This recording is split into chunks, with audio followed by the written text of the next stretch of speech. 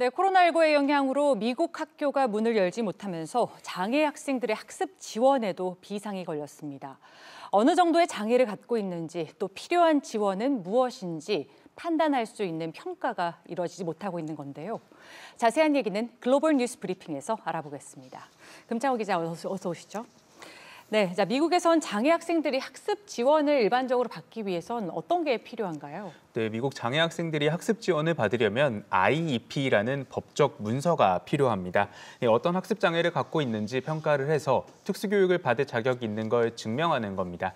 이 IEP를 갖고 있는 학생들은 여러 학습 지원을 받을 수 있는데요. 뭐 예를 들어서 수업 때 교사 가까이에 앉을 수가 있고 시험 시간도 다른 학생에 비해서 더 깁니다.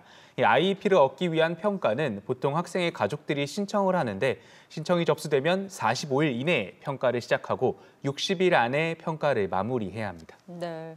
하지만 최근엔 코로나 때문에 이런 평가가 지연되거나 잘 이루어지지 않고 있다고요. 예, 워싱턴 포스트 보도에 따르면 코로나19로 코로나19가 유행한 뒤에 이런 평가가 제대로 이루어지지 않고 있습니다. 이 평가를 하려면 심리 진단과 학업 시험, 또 수업 시간에 학생 학생 관찰 등을 해야 하는데요. 코로나19로 학교가 문을 열지 않고 대면 수업이 힘든 상황에서 이런 평가를 수행하기가 어려운 겁니다. 어, 이런 상황에 교육부가 팬데믹 기간 동안 IEP 평가를 어떻게 할지 지침을 제공했습니다. 이 대면 평가가 어려운 점을 인정하고 의료 서비스나 원격 평가 등 다른 도구를 활용할 수 있게 한 겁니다. 네. 하지만 각 기초학군들이 이 지침을 따르지 않더라도 교육부는 특별한 조치를 하지 않습니다. 다만 각주 교육 당국이 알아서 처리하도록 맡겨놓기만 했습니다. 음... 그렇지 않아도 특수교육 대상 학생들의 학습 문제는 좀 걱정스러운 부분들이 있을 텐데 지연이 계속되는 건 아닐지 우려하는 시선도 많겠어요. 네, 그렇습니다. 그래서 학부모들의 걱정이 좀 특히 큽니다. 예, 텍사스주의 한 학부모는 지난 1월에 난독증 검사를 요청했지만 10월 말이 다 되어서야 평가 절차가 시작됐다면서 당연한 지원을 시작하는데 9개월이나 걸려서는 안 된다고 지적했습니다. 예, 또 보스턴 지역에선 학생 1,800명이 평가 절차를 기다리고 있는데 어, 이 지역 학군 관 계자들은 내년 4월 말까지 평가를 완료하길 바라고 있습니다. 올해 3월에 평가가 중단된 점을 생각해 보면 2년 가까이 특수교육 대상 학생들이 학습 지원을 못 받은 겁니다. 평가가 다시 시작되는 건 다행이지만 그동안 떨어진 학업 역량을 어떻게 다시 끌어올릴지에 대한 고민도 필요해 보입니다. 네. 코로나19로 어려움을 겪고 있는 건 장애 학생들뿐만이 아니죠. 어, 특히나 어른의 손길이 말이 필요로 하는 저학년일수록 이 원격 학습이 되지 않는 건 아닐까 걱정이 큰데요.